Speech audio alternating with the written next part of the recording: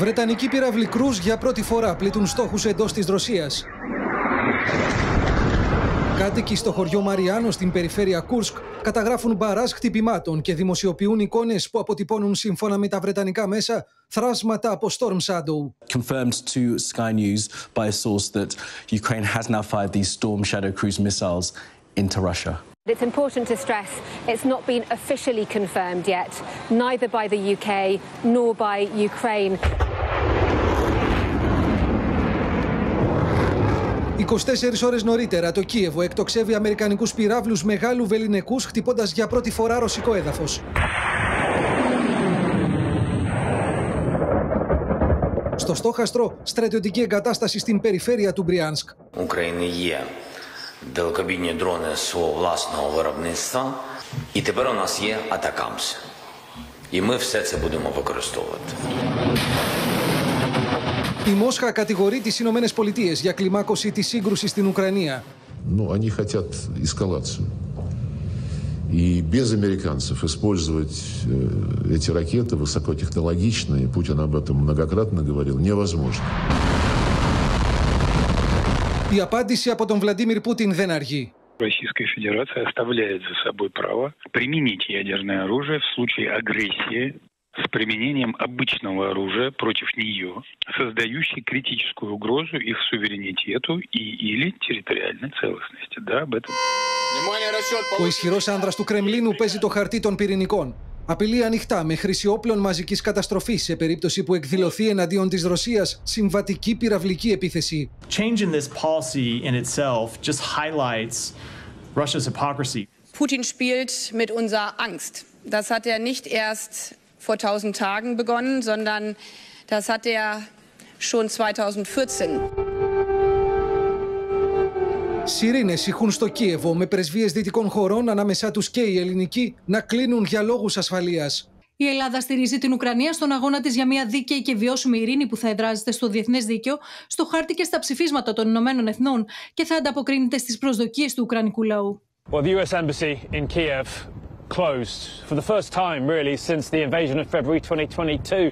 Diplomats not coming to work, many warned to shelter in place because of the fear, they say, of an air assault. Ο Τζο Μπάιντεν ενισχύει περαιτέρω την Ουκρανία, προμηθεύοντα νάρκε κατά προσωπικού με στόχο να επιβραδυνθεί η ρωσική προέλαση στο ανατολικό μέτωπο.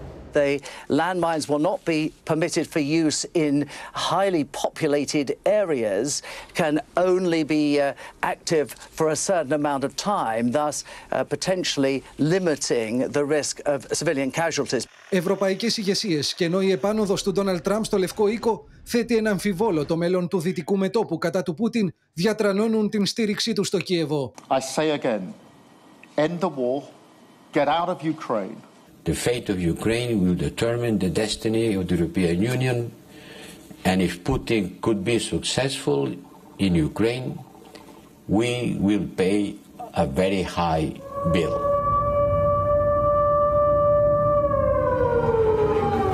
Χίλιες και μία ημέρες από τον πόλεμο στην Ουκρανία με το ορόσημο να σηματοδοτεί ραγδαία κλιμάκωση με αβέβαιη έκβαση, Μόσχα και Κίεβο επιχειρούν να βελτιώσουν τις θέσεις τους στα πεδία των μαχών μπροστά στο ενδεχόμενο έναρξη τυχών διαπραγματεύσεων. Στο Λονδίνο θα πάμε πρώτα κυρίες και κύριοι και το Θανάση Γκαβό γιατί εκεί ούτε διαψεύδουν ούτε επιβεβαιώνουν Θανάση για την ώρα την χρήση των Βρετανικών πυράβλων κρούζ από το Κίεβο. Ναι, από την κυβέρνηση τουλάχιστον στη γη ηχθείως. Ήταν στη Βουλή ο Υπουργός Άμυνας, ο κύριος Χίλεϊ. Είπε απλά ότι οι πράξεις της Ουκρανίας στο πεδίο μάχης μιλούν από μόνες της και ότι η Βρετανία είναι αποφασισμένη να συνεχίσει να ενισχύει τους Ουκρανούς. Αλλά μέχρι εκεί. Όλες τις προηγούμενες ημέρες, στελέχη της κυβέρνησης έλεγαν στην ουσία ότι τέτοιου είδους κινήσεις, αποφάσεις δεν προαναγγέλλονται, δεν ανακοινώνονται. Αλλά ήταν κοινό μυστικό ΣΥΑ ότι μετά τον Biden και ο Κιρ Στάρμερ ήταν έτοιμος να δώσει το πράσινο φως για τη χρήση των Storm Shadow, των Βρετανικών πυράβλων με βεληνικές 250 χιλιόμετρα. Είχε πει ο κύριος Στάρμερ ότι πρέπει να φέρουμε την Ουκρανία στη πιο δυνατή θέση που μπορούμε. Κάποιοι σχολιαστές είπαν ότι δεν πρόσθεσε τη φράση πριν αναλάβει ο Τραμπ.